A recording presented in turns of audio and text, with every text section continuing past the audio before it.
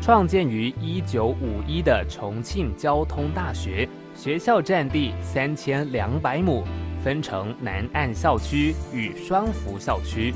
学生上课主要在双福校区。双福校区远眺缙云山脉，校园景观很美。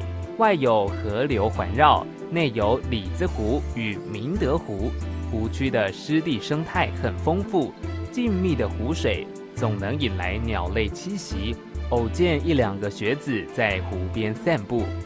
校区的绿地很广，片植花木，有条路就叫做银杏路，秋天银杏转黄落地的景象真的很美，雕塑艺术与石碑处处可见。